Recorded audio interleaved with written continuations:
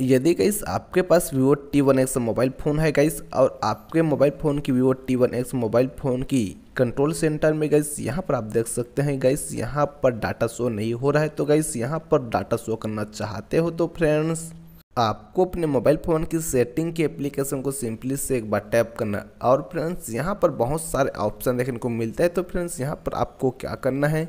Search की icon को simply से एक बार टैप करना टैप करने के बाद गैस यहाँ पर आपको क्या करना है? डाटा लिख लेना है।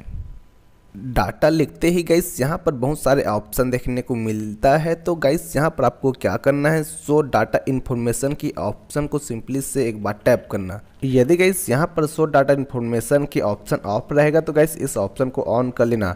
सो डाटा इन्फॉर्मेशन के ऑप्शन को ऑन करते ही फ्रेंड्स यहाँ पर आप देख सकते हैं गैस मोबाइल फ़ोन की कंट्रोल सेंटर में डाटा कितना यूज़ किया है दिन भर में और महीने में कितना यूज़ किए है, वो यहाँ पर शो हो रहा है। यहाँ पर आप देख सकते हैं तो गैस इस प्रकार Vivo T one X mobile phone में दिन भर में कितना डाटा यूज़ किए हैं, वो ऑप्शन को कंट्रोल सेंटर में शो कर सकते हैं, ला सकते हैं। तो गैस ये वीडियो कैसा लगा हमें कमेंट पर ज़रूर बताना। अभी के लिए बस इतना ही। अगले वीडियो पर मिलेंगे, तब तक के लिए अपना ख्याल रखना। जय हिंद, वंदे मातरम।